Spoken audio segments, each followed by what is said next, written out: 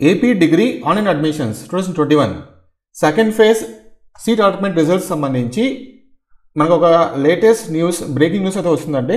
ఏంటంటే second phase allotment results అన్నీ stop చేశారనమాట ఓకేనా?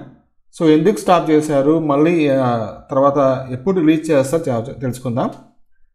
సో ఇక్కడ చూసుకోవచ్చు మీరు.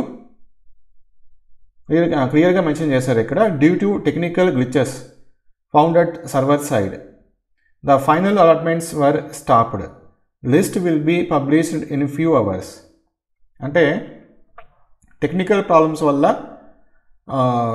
ఈ ఫైనల్ ఫేజ్ అంటే సెకండ్ ఫేజ్ అలాట్మెంట్స్ అన్ని స్టాప్ చేశాము. త్వరలోనే విత్ ఇన్ అవర్స్ అంటే విత్ కొన్ని గంటల్లో మళ్ళీ మేము పబ్లిష్ చేస్తామని చెప్పేసి ఒక అప్డేట్ అయితే ఇచ్చారు.